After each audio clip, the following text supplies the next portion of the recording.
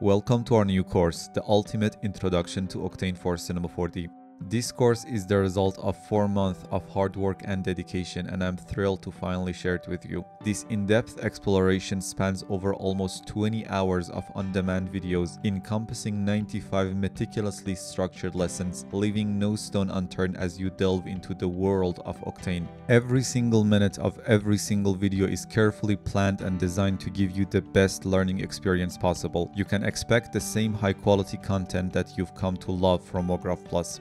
We'll keep the course updated for at least a year after the initial launch, but we usually update our courses for longer than that. Now let me tell you more about what you will learn in this course. We start off the course by introducing Octane for Cinema 4D, where you can find all the Octane tools and functions and the general workflow that you need to be familiar with when working with Octane for Cinema 4D.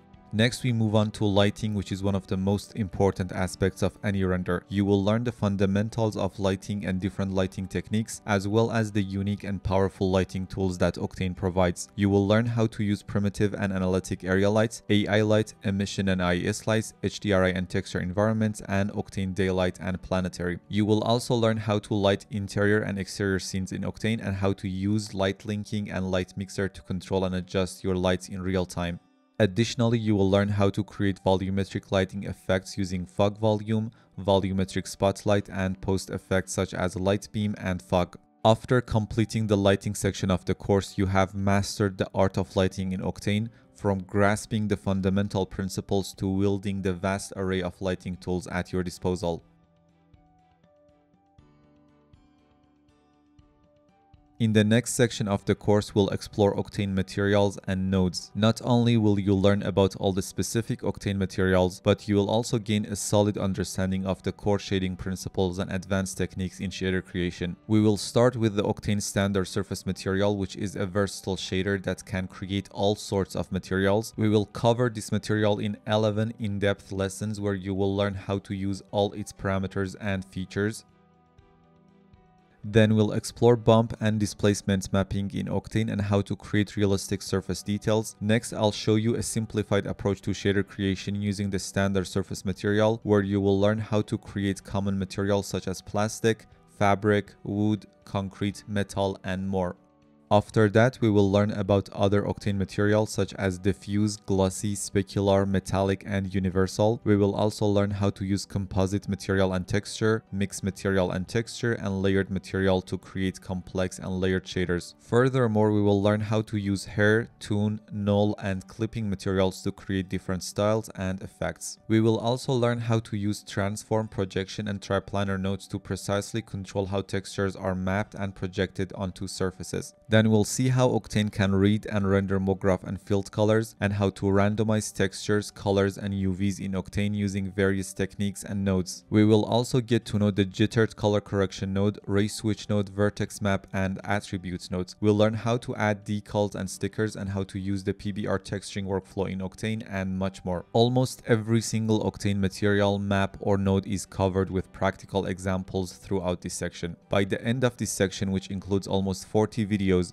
you should be very comfortable developing complex shaders in Octane and gain the ability to craft a diverse range of materials from the mundane to the extraordinary in Octane. Next, we learn all about cameras and how to use them in Octane. You will learn about different camera types, depth of field, motion blur, and other camera related features. First, we explore the Octane camera in depth and how to adjust its settings and parameters. Then we'll learn how to achieve realistic depth of field effects and how to add optical vignetting, split focus diopter, and various chromatic aberrations.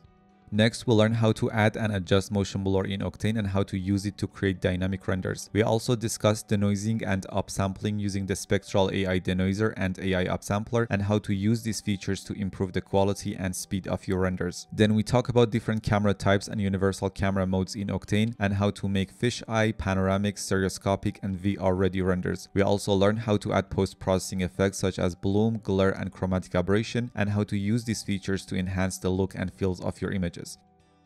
Section 5 of the course is all about rendering with Octane. First, we talk about the live viewer, which is the most important part of Octane. You will learn how to use the live viewer to manage, preview, and adjust your scene in real time. Then we'll learn about the fundamentals of image sampling and ray tracing with Octane and how to control the quality and the noise in your renders using techniques like adaptive sampling. We also talk thoroughly about all the render kernels in Octane, including direct lighting, path tracing, info channels, PMC, and photon tracing. You will learn how to use each kernel for different scenarios and purposes and how to optimize your render settings. Then we talk about ACES, a system to manage color in all levels of the production. You will learn what ACES is and how it works, how to set it up properly in Octane for Cinema 4D, and how to deal with ACES managed renders in post. You will also see some examples comparing ACES and the default color manager and why ACES is just way better. Next, we explore the AOVs or render passes in depth. You will discover the purpose and content of each AOV and how to export them properly for post-processing. You will also learn how to work with render layer, output AOVs and compositing AOVs both inside Octane and outside in Fusion. We dedicated more than two hours to teach you everything you need to know about AOVs. We will also cover the rest of the render settings in a few videos and at the end you will get a brief introduction to Octane standalone application and how to use it to build and render scenes.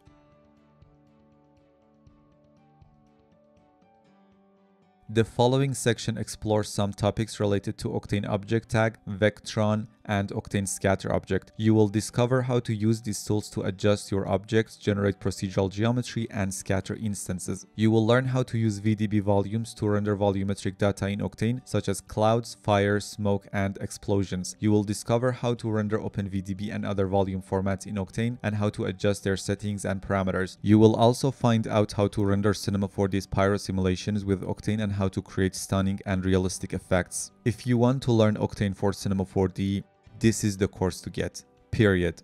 This is literally the ultimate course for learning Octane for Cinema 4D. We put a lot of effort into our courses to ensure the quality of them and you get a well-organized academically oriented course that will launch your creative career to new heights. This is our 23rd online course here at MoGraph Plus in the past decade. Thousands of students from around the globe have participated in our courses and I invite you to join them and learn from the best Octane course available online. So sign in or sign up and let's get started.